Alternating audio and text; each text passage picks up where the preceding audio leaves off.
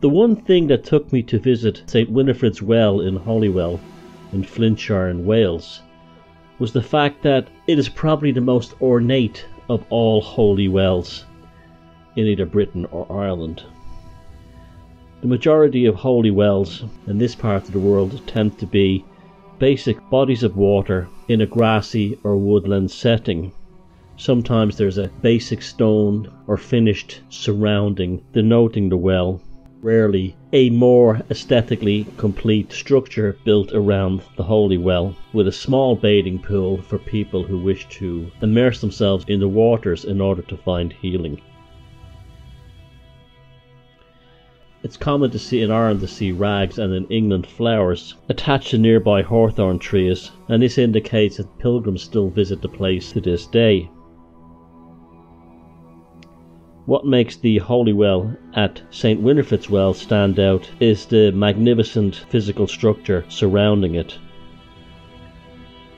The entire well and its associated buildings at St. Winifred's is on an enormous and grand scale. The main spring at the heart of the structure is a pool of water about 5 feet deep. A pile of stones has been placed over the spring in order to stop it from rising up into a fountain, but having said that, the dampened upswell of water still looks rather impressive as it swirls to the top of the main pool.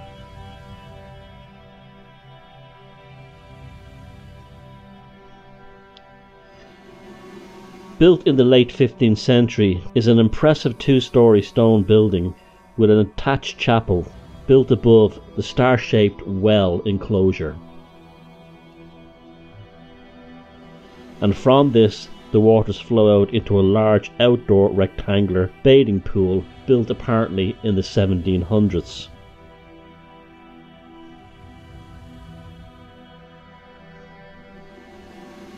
Although this is a place of Catholic pilgrimage, the entire location speaks of a pagan undertones and backstory, which is the reason I was brought to St. Winifred's Well.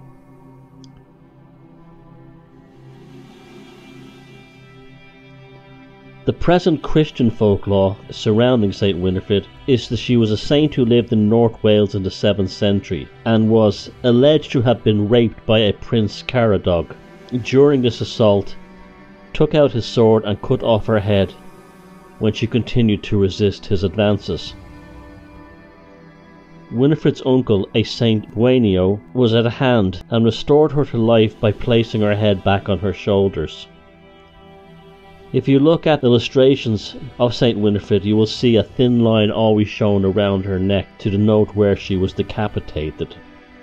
The well water itself is said to have rushed up to flow where her head fell upon the ground, and the red marks visible on the surrounding stones is where it said the saint's blood splashed upon the wall. There is a stone in the bathing pool that is said Saint Beuno sat upon when instructing Winifred in Christian doctrine.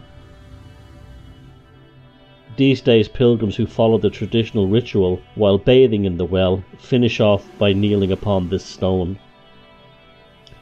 The town's name itself, Holywell, denotes the importance of St. Winifred's Well, and to this day its popularity continues, while other holy wells around Britain and Ireland have fallen into decline.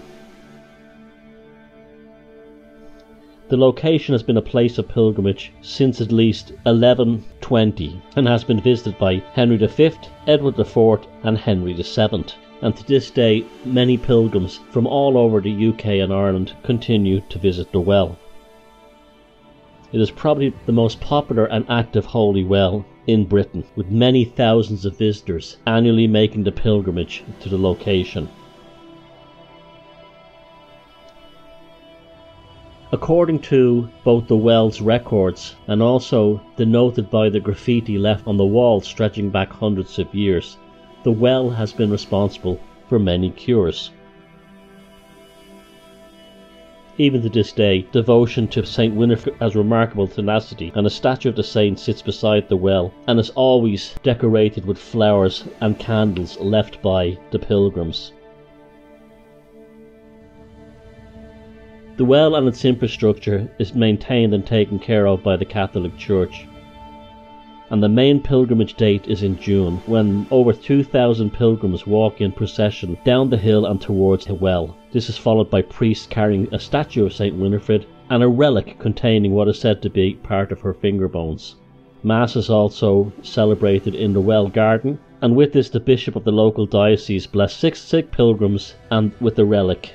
This is then followed by the pilgrims walking around the well while some gather water in bottles to take home with them, and also they light candles to venerate the saint. Finally, the procession finishes with the bishop holding up the relic for each of the pilgrims to kiss. Back in the 1990s, a piece of wood was discovered in a closet at Holywell, and it proved to be the last surviving fragment of an 8th century relic of St. Winifred. This makes St. Winifred perhaps the oldest of any Welsh saint. The survival of this relic into the 19th century was itself considered to be a miracle.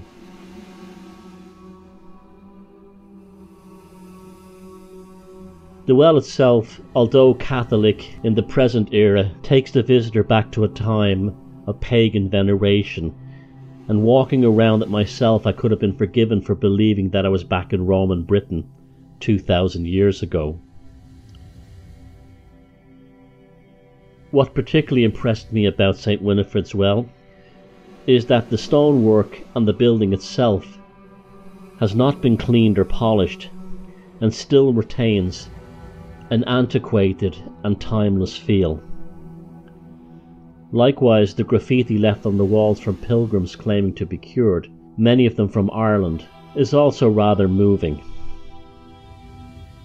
St. Winifred's Well is a prime example of that ubiquitous crossover between pagan times and early Christianity, which is infused with a power that carries forward from the time of the Druids to the Christianity of the present.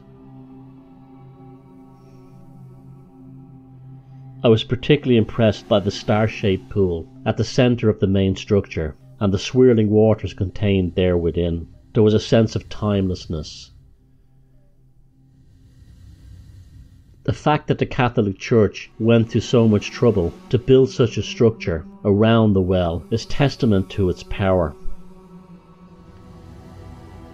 Normally, Christians would be adverse to the idea of water coming up from hell, as this is how they would have seen it. However, there was also an element of lucrative business in curing pilgrims travelling not only from all over Britain but from overseas.